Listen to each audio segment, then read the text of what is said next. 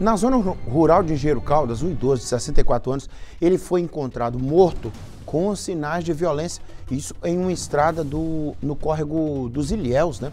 A morte de Jorge de Oliveira continua sendo investigada. O Miguel Braça está chegando de volta aqui para repercutir. É mistério por enquanto, né, Miguel? Mas a polícia vai aí contando com informação de quem tenha visto alguma coisa. É isso, Miguel? É isso mesmo, Nico. E com os trabalhos da Polícia Militar, a APM já tem o nome de um suspeito do crime. Isso porque a Polícia Militar estava em patrulhamento quando foi informada de que algumas pessoas encontraram o corpo do senhor Jorge de Oliveira. Algumas testemunhas ainda relataram aos militares que ouviram disparos de arma de fogo.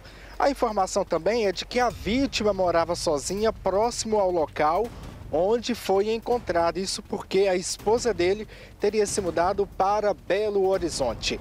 A polícia continuou com os trabalhos e obteve a informação de que o ex-genro do senhor Jorge é o principal suspeito do crime.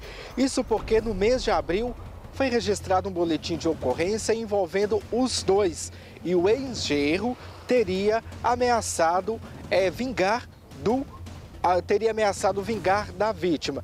No entanto, algumas testemunhas ainda contaram que o suspeito foi visto circulando no local um dia antes do homem ser encontrado. A perícia da Polícia Civil fez todos os procedimentos no local, apontou algumas perfurações no corpo de Jorge de Oliveira e alguns também cortes, possivelmente provocado por facas. Ainda está em apuração. No entanto, a Polícia Militar foi até a casa do parente do principal suspeito e um parente disse que há pelo menos dois meses ele não aparecia por lá. No entanto, os trabalhos continuam a fim de identificar, a fim de encontrar essa pessoa e realmente descobrir se essa desavença, se né, o, a, a, o crime de ameaça, de lesão corporal registrado em abril teria sido a motivação da morte do senhor Jorge de Oliveira no córrego dos Ilhéus, em Engenheiro Caldas. Nico. É, Miguel. É o mistério, né? Quem tiver informação, por ser zona rural, talvez pode ser que alguma propriedade aí na vizinhança tenha alguma imagem de circuito que possa mostrar alguma movimentação, né? É, para auxiliar as forças de segurança. Passo para Engenheiro Caldas. Zona rural tá.